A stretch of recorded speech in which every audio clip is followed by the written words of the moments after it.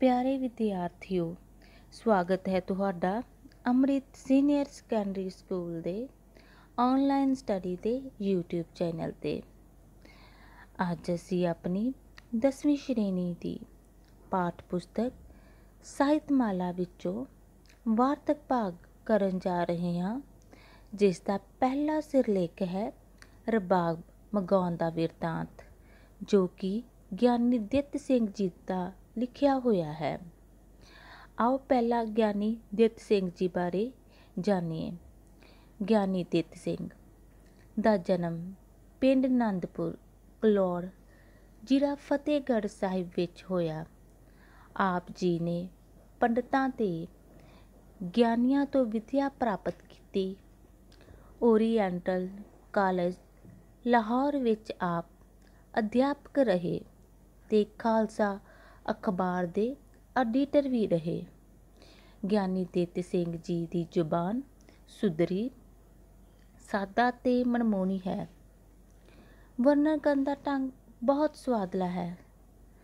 ਆਪ ਦੀ ਵਾਰਤਕ 19ਵੀਂ ਸਦੀ ਦੀ ਪੰਜਾਬੀ ਦਾ ਵਧੀਆ ਨਮੂਨਾ ਹੈ।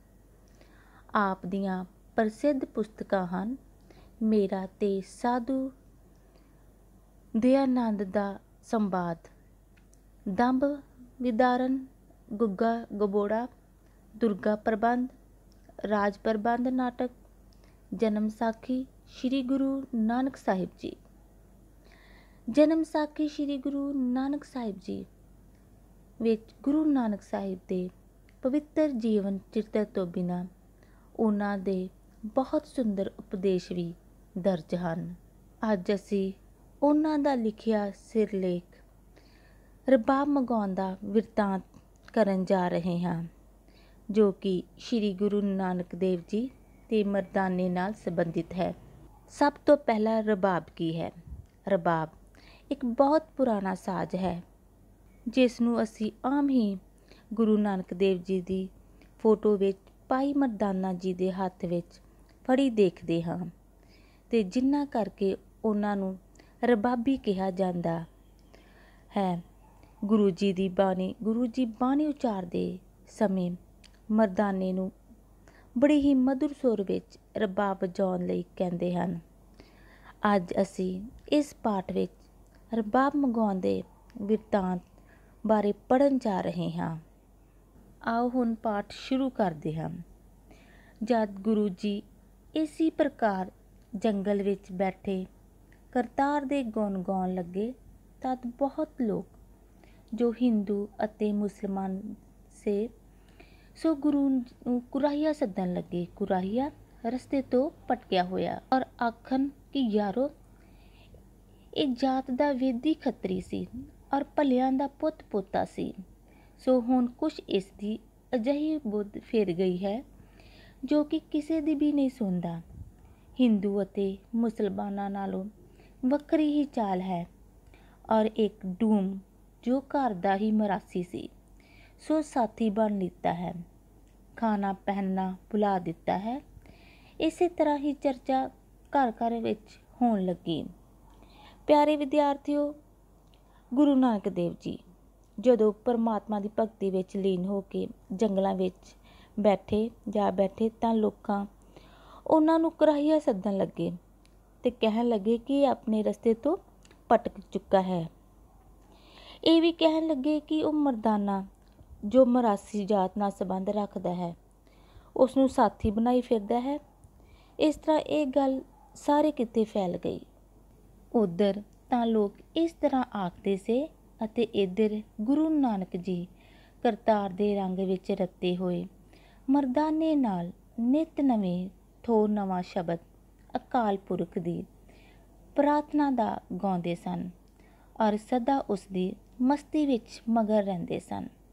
ਇੱਕ ਰੋਜ਼ ਆਖਣ ਲੱਗੇ, ਕਿ ਮਰਦਾਨਿਆਂ, ਕੁਝ ਸਾਜ਼ ਬਜਾਓ ਜੋ ਦਿਲ ਨੂੰ ਭਾਵੇ? ਤਦ ਮਰਦਾਨੇ ਆਖਿਆ, ਕਿ ਆਪ ਦਾ ਕਿਹੜੇ ਸਾਜ਼ ਦੇ ਸੁਣਨ ਲਈ ਚਿੱਤ ਚਾਹੁੰਦਾ ਹੈ? ਪਿਆਰੇ ਵਿਦਿਆਰਥੀਓ, ਗੁਰੂ ਨਾਨਕ ਦੇਵ ਜੀ, ਜੋ ਪਰਮਾਤਮਾ ਦੇ ਰੰਗ ਵਿੱਚ ਰੰਗੇ ਹੋਏ ਸਨ ਸਦਾ ਪਰਮਾਤਮਾ ਦੀ ਭਗਤੀ ਵਿੱਚ ਹੀ ਲੀਨ ਰਹਿੰਦੇ ਸਨ ਤੇ ਮਰਦਾਨੇ ਨਾਲ ਰਲ ਕੇ ਨਿਤ ਨਵੀਂ ਬਾਣੀ ਉਚਾਰਦੇ ਸਨ। ਤੇ ਬਾਣੀ ਉਚਾਰਦੇ ਸਮੇਂ ਉਹਨਾਂ ਨੇ ਮਰਦਾਨੇ ਨੂੰ ਕਿਹਾ, ਕੋਈ ਸਾਜ਼ ਵਜਾਓ। ਇਸੇ ਤਰ੍ਹਾਂ ਹੀ ਮਰਦਾਨੇ ਨੇ ਗੁਰੂ ਜੀ ਨੂੰ ਪੁੱਛ ਲਿਆ ਕਿ ਤੁਹਾਨੂੰ ਕਿਹੜਾ ਸਾਜ਼ ਸੁਣਨ ਨੂੰ ਦਿਲ ਕਰਦਾ ਹੈ? ਗੁਰੂ ਜੀ ਨੇ ਆਖਿਆ, ਕਿ ਮਰਦਾਨਿਆਂ ਰਬਾਬ ਤੇ ਵੱਧ ਕੇ ਹੋਰ ਕਿਹੜਾ ਸਾਜ਼ ਹੈ ਜੋ ਅੱਛਾ ਆਖੀਏ? ਸੋ ਵਜਾਓ ਤਾਂ ਗੁਰੂ ਜੀ ਨੇ ਰਬਾਬ ਨੂੰ ਸਭ ਤੋਂ ਉੱਤਮ ਸਾਜ਼ ਦੱਸਿਆ।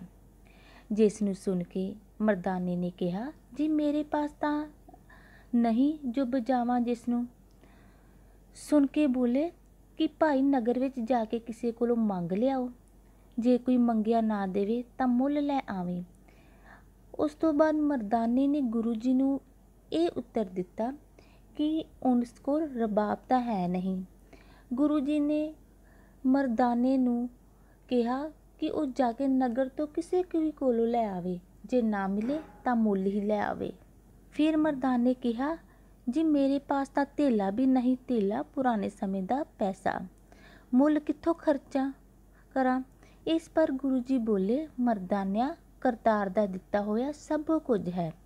ਐਡਾ ਉਦਾਸ ਨਾ ਹੋ ਜਾ ਕਰ ਜਾ ਕੇ ਬੀਬੀ ਤੇ ਜਿੰਨੇ ਰੁਪਏ ਚਾਹੇ ਲੈ ਲੈ। ਔਰ ਕੋਈ ਚੰਗਾ ਜਿਹਾ ਰਬਾਬ ਲੈ ਆਓ। ਗੁਰੂ ਨਾਨਕ ਦੇਵ ਜੀ ਨੇ ਮਰਦਾਨੇ ਨੂੰ ਘਰ ਜਾ ਕੇ ਮਾਤਾ ਜੀ ਤੋਂ, ਬੀਬੀ ਜੀ ਤੋਂ ਪੈਸੇ ਲੈਣ ਲਈ ਆਖਿਆ। ਇਹ ਸੁਣ ਕੇ ਮਰਦਾਨਾ ਰੁਪਈਏ ਚਾਹੇ ਲੈ ਲੈ ਔਰ ਕੋਈ ਚੰਗਾ ਜਿਹਾ ਰਬਾਬ ਲੈ ਆਓ। ਇਹ ਸੁਣ ਕੇ ਮਰਦਾਨਾ ਬੀਬੀ ਪਾਸ ਆਇਆ ਔਰ ਰਬਾਬ ਲਈ ਕੁਝ ਰੁਪਏ ਮੰਗੇ। ਇਸ ਪਰ ਅੱਗੋਂ ਬੀਬੀ ਜੀ ਨੇ ਆਖਿਆ ਕਿ ਮਰਦਾਨਿਆ ਤੂੰ ਜਾ ਕੇ ਪਹਿਲਾਂ ਰਬਾਬ ਦੇਖਾ ਅਤੇ ਮੁੱਲ ਕਰਾ ਕੇ ਮੇਰੇ ਪਾਸ ਆਈ, ਜਿਤਨੇ ਰੁਪਏ ਚੁੱਕੇ ਮੈਥੋਂ ਲੈ ਜਾਈ। ਮਰਦਾਨਾ ਲੱਗਾ ਨਗਰ ਦੀ ਗਲੀ ਕੂਚੇ ਫਿਰਨ, ਕਿਉਂਕਿ ਮਰਦਾਨਾ ਗੁਰੂ ਜੀ ਦੇ ਕਹਿਣ ਤੇ ਥਾਂ ਥਾਂ ਜਾ ਕੇ ਗਲੀਆਂ ਕੂਚਿਆਂ ਵਿੱਚ ਰਬਾਬ ਢੂੰਡਣ ਲੱਗ ਪਿਆ। ਜਿੱਧਰ ਜਾਵੇ, ਉਧਰੋਂ ਲੋਕ ਠੱਠਾ ਮਖੌਲ ਕਰਨ ਔਰ ਆਖਣ ਕਿ ਕੁਰਾਹੀਏ ਦਾ ਡੂਮ ਆਇਆ ਹੈ। ਨਾਲ ਕਈ ਬੁਰਾ ਬੋਲਣ ਤੇ ਕਈ ਮਿੱਟੀ ਚੁੱਕ ਕੇ ਉੱਤੇ ਸੁੱਟਣ। ਜੋ ਜਿਸ ਦੇ ਮਨ ਆਵੇ ਸੋ ਕਰੇ। ਇਸ ਮਰਦਾਨਾ ਤੰਗ ਤਾਂ ਆ ਗਿਆ। ਔਰ ਆਖੇ ਕਿ ਇਹ ਤਾਂ ਅੱਛੀ ਹੋਣ ਲੱਗੀ ਹੈ। ਜੇ ਕੋਈ ਖੜਾ ਹੋਣ ਵੀ ਨਹੀਂ ਦਿੰਦਾ, ਪਿਆਰੇ ਵਿਦਿਆਰਥੀਓ, ਜਦ ਮਰਦਾਨਾ ਰਬਾਬ ਲੈਣ ਨਗਰ ਵਿੱਚ ਗਿਆ ਤਾਂ ਲੋਕਾਂ ਨੇ ਉਸ ਨੂੰ ਕੁਰਾਹੀਆ ਕਿਹਾ, ਆਪਣੇ ਰਸਤੇ ਤੋਂ ਪਟਕਿਆ ਹੋਇਆ ਕਿਹਾ। ਤੇ ਉਸ ਨੂੰ ਹਾਸਾ ਮਖੌਲ ਕਰਨ ਲੱਗੇ ਉਸ ਤੇ ਮਿੱਟੀ ਚੁੱਕ ਕੇ ਸੁੱਟਣ ਲੱਗੇ। ਇਸ ਤੋਂ ਪਰੇਸ਼ਾਨ ਹੋ ਕੇ ਮਰਦਾਨਾ ਕਹਿਣ ਲੱਗਾ ਕਿ ਇਹ ਤਾਂ ਉਸ ਨਾਲ ਚੰਗੀ ਹੋ ਰਹੀ ਹੈ। ਬਹੁਤ ਤੰਗ ਆ ਕੇ ਉਹ ਪਿੱਛਾ ਮੋੜ ਆਇਆ ਔਰ ਮੂੰਹ ਬੁਰਾ ਜਿਹਾ ਕਰਕੇ ਆਣ ਬੈਠਾ, ਜਿਸ ਦੇ ਉਦਾਸ ਚਿਹਰੇ ਚਿਹਰੇ ਨੂੰ ਦੇਖ ਕੇ ਗੁਰੂ ਜੀ ਨੇ ਆਖਿਆ, ਮਰਦਾਨਿਆ, ਖਾਲੀ ਕਿਉਂ ਮੁੜਿਆ ਹੈ? ਤੈਨੂੰ ਤਾਂ ਰਬਾਬ ਲੈਣ ਲਈ ਭੇਜਿਆ ਸੀ। ਸੋ ਦਸ ਸੁੱਖ ਹੈ ਇਸ ਬਾਤ ਨੂੰ ਸੁਣ ਕੇ ਮਰਦਾਨਾ ਆਖਣ ਲੱਗਾ, ਜੀ ਸੁੱਖ ਕਾਦੀ ਹੈ? ਤੇਰੇ ਸੰਗ ਮੈਨੂੰ ਅੱਛਾ ਫਲ ਮਿਲਿਆ ਹੈ। ਜੋ ਜਿੱਧਰ ਜਾਂਦਾ ਹੈ, ਉਧਰ ਲੋਕ ਅੱਗੋਂ ਸੋ ਸੋ ਸੁਣਾਉਂਦੇ ਹਨ ਔਰ ਤੈਨੂੰ ਕਰਾਹੀਆ ਆਖਦੇ ਹਨ ਔਰ ਮੈਨੂੰ ਦੇਖਦੇ ਆਖਦੇ ਹਨ ਕਿ ਕਰਾਹੀਏ ਦਾ ਡੂਮ ਹੈ, ਡੂਮ ਮਰਾਸੀ ਜਾਤ ਨੂੰ ਕਹਿੰਦੇ ਹਨ। ਮੈਂ ਤਾਂ ਰਬਾਬ ਦੀ ਜਗ੍ਹਾ ਖਰਾਬ ਹੋ ਕੇ ਆਇਆ ਗਿਆ ਹਾਂ। ਔਰ ਤੇਰੇ ਪਿੱਛੇ ਮੇਰੀ ਵੀ ਇਹ ਗੱਤ ਹੋਈ ਰਹੀ ਹੈ। ਪਿਆਰੇ ਵਿਦਿਆਰਥੀਓ, ਇਹ ਸਭ ਗੱਲਾਂ ਤੋਂ ਮਰਦਾਨਾ ਪਰੇਸ਼ਾਨ ਹੋ ਗਿਆ ਤੇ ਵਾਪਸ ਗੁਰੂ ਨਾਨਕ ਜੀ ਕੋਲ ਗਿਆ। ਚੁੱਪ ਬੈਠਾ ਦੇ ਕੇ ਗੁਰੂ ਨਾਨਕ ਦੇਵ ਜੀ ਨੇ ਅੱਗੋਂ ਮਰਦਾਨੇ ਨੂੰ ਪੁੱਛਿਆ, ਮਰਦਾਨੇ, ਤੂੰ ਤਾਂ ਰਬਾਬ ਲੈਣ ਗਿਆ ਸੀ, ਤਾਂ ਮਰਦਾਨੇ ਨੇ ਉਸ ਨਾਲ ਜੋ ਬੀਤੀ, ਸਾਰੀ ਗੁਰੂ ਨਾਨਕ ਦੇਵ ਜੀ ਨੂੰ ਕਹਿ ਸੁਣਾਈ। ਇਸ ਨੂੰ ਸੁਣ ਕੇ ਗੁਰੂ ਜੀ ਨੇ ਆਖਿਆ, ਮਰਦਾਨਿਆ, ਕੁਝ ਡਰ ਨਾ ਕਰ ਇਹ ਲੋਕ ਐਵੇਂ ਚੱਕ ਮਾਰਦੇ ਹਨ। ਸੋ ਤੂੰ ਸੰਸਾਰ ਦਾ ਨਾ ਬਣ, ਤੈਨੂੰ ਮੈਂ ਕਰਤਾਰ ਕਰਤਾਰ ਪਰਮਾਤਮਾ ਦਾ ਬਣਾਇਆ ਹੈ। ਸੰਸਾਰ ਦਾ ਕੰਮ ਚੱਕ ਮਾਰਨੇ ਦਾ ਹੈ, ਪਰੰਤੂ ਪਰਮੇਸ਼ਵਰ ਦੇ ਪਿਆਰਿਆਂ ਦਾ ਇਸ ਤੇ ਕੁਝ ਨਹੀਂ ਵਿਗੜਦਾ। ਇਹ ਸੁਣ ਕੇ ਗੁਰੂ ਨਾਨਕ ਦੇਵ ਜੀ ਨੇ ਮਰਦਾਨੇ ਨੂੰ ਆਪਣੇ ਕੰਮ ਵਿੱਚ ਮਸਤ ਹੋਣ ਲਈ ਕਿਹਾ ਤੇ ਕਿਹਾ ਕਿ ਸੰਸਾਰ ਲੋਕਾਂ ਦਾ ਕੰਮ ਹੀ ਚੱਕ ਮਾਰਨਾ ਹੈ। ਤੂੰ ਸੰਸਾਰ ਦਾ ਨਾ ਬਣ, ਤੂੰ ਪਰਮਾਤਮਾ ਦਾ ਬਣ। ਪਰੰਤੂ ਪਰਮੇਸ਼ਵਰ ਦੇ ਪਿਆਰਿਆਂ ਦਾ ਇਸ ਤੇ ਕੁਝ ਨਹੀਂ ਵਿਗੜਦਾ। ਕੁੱਤੇ ਵਾਂਗਰ ਭੌਂਕ ਕੇ ਆਪੇ ਹੀ ਚੁੱਪ ਕਰ ਜਾਏਗਾ। ਇਹ ਸੁਣ ਕੇ ਮਰਦਾਂ ਨੇ ਆਖਿਆ, ਕਿ ਜੀ ਤੇਰੀਆਂ ਤੂੰ ਹੀ ਜਾਣੇ, ਮੈਨੂੰ ਇਹ ਗੱਲ ਦੀਆਂ ਕਿਆ ਸਾਰ ਹੈ ਜੋ ਤੂੰ ਮਿਆ ਆਖਦਾ ਹੈ?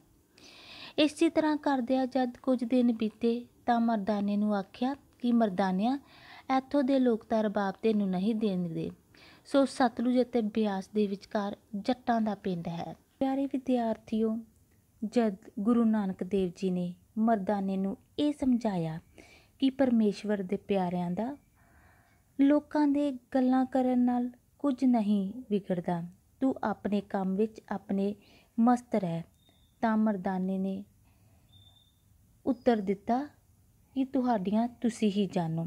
ਕੁਝ ਦਿਨ ਬਾਅਦ ਗੁਰੂ ਜੀ ਨੇ ਮਰਦਾਨੇ ਨੂੰ ਫਿਰ ਰਬਾਬ ਲਿਆਉਣ ਲਈ ਕਿਹਾ ਤੇ ਸਤਲੁਜ ਅਤੇ ਬਿਆਸ ਦੇ ਵਿਚਕਾਰ ਇੱਕ ਪਿੰਡ ਬਾਰੇ ਦੱਸਿਆ ਅਤੇ ਕਿਹਾ ਕਿ ਉੱਥੇ ਦੇ ਲੋਕ ਤੈਨੂੰ ਜ਼ਰੂਰ ਰਬਾਬ ਦੇ ਦੇਣਗੇ।